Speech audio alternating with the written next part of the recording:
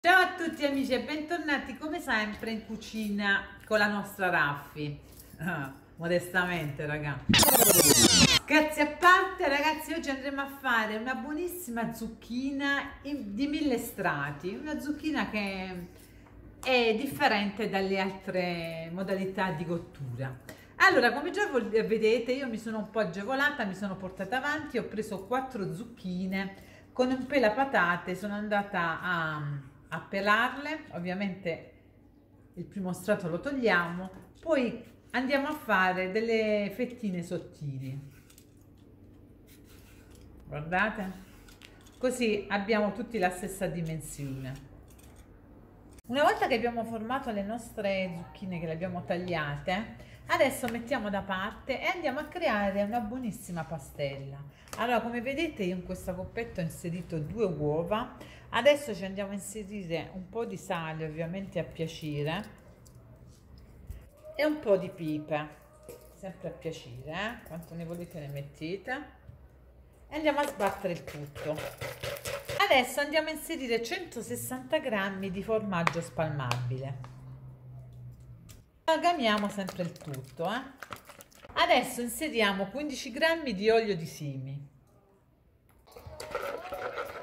e 30 grammi di farina 00 amalgamiamo il tutto fino a quando vediamo che il nostro composto è bello e liscio e omogeneo.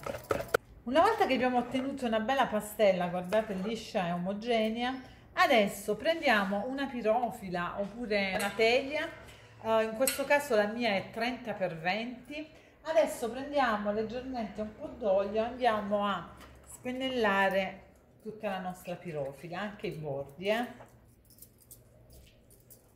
Una volta che abbiamo oleato la nostra pirofila, adesso prendiamo le zucchine e le andiamo a depositare sopra la nostra pirofila. Ovviamente o sono fine o sono rotte, eh? l'agevoliamo uno sopra l'altro. Volta che abbiamo fatto uno strato per lungo, adesso facciamo un altro strato per verticale. Una volta che abbiamo fatto due strati, adesso andiamo a inserire un po' di pastella. La distribuiamo per tutta la nostra pirofila adesso continuiamo inseriamo sempre le nostre zucchine sia orizzontale che verticale per due strati allora abbiamo fatto un altro due strati ed inseriamo di nuovo la nostra pastella. E così via finiamo fino a fine zucchine. Una volta che abbiamo aggiunto l'ultimo strato di zucchine adesso inseriamo l'ultimo impasto. Ovviamente se non ce la fate perché dipende dalla dal volume della vostra teglia potete anche rifare l'impasto eh?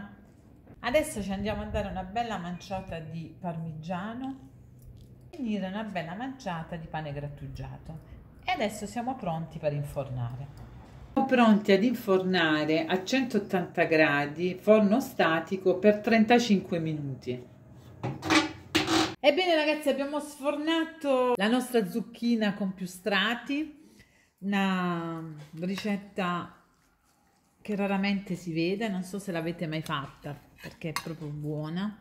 Guardate con tanti strati.